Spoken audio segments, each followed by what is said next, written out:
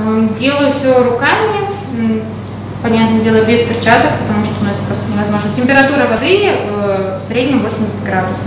Шарик опускают в воду и получается приморская моцарелла. Такому рецепту Роксана обучил ее супруг, шеф-повар Марка, родом из Флоренции. Поженились они в Италии 8 лет назад, а сейчас работают во Владивостоке. Уже полтора года занимаются семейным бизнесом. Здесь наши сыры выдержаны. Они пока еще свежие.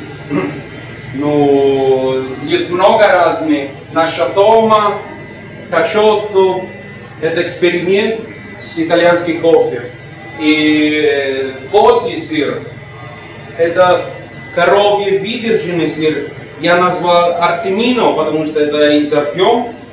На один килограмм любого сыра уходит от 10 и больше литров молока. Сырье берут у фермеров в селе Кневичи. Никаких красителей концентратов, утверждают сыровары. Несмотря на то, что неоднократно слышали, что здесь молоко не такое и так далее, конечно, никто не пытается э, сравнивать итальянское молоко, которое коровы пасутся на лугах альпийских, э, с нашими э, коровами, которые вот-вот в апреле, а у нас еще и травы нет.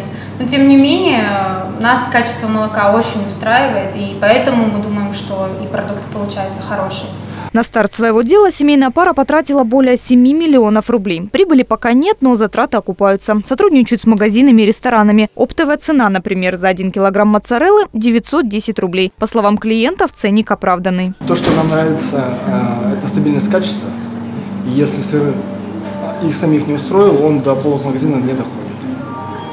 И э, даже последний раз путешествуя по Италии, мы специально брали сыры различные, чтобы передавать им какую-то технологию названия, вкусовые характеристики.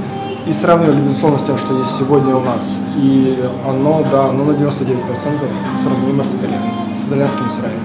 По словам Марка, в Италии бешеная конкуренция. На рынках и в магазинах можно купить сыр на любой вкус, поэтому создавать там новое производство уже невыгодно. А в России, особенно в условиях продуктового эмбарго, для малого бизнеса и собственных продуктов есть все шансы. Я думаю, еще может быть э, наш магазин, надеюсь, скоро.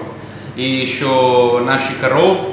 Да, это Ну, мы очень пляний, ну, есть много пляний. Ну, я думаю, нужно время, и я думаю, все успеем.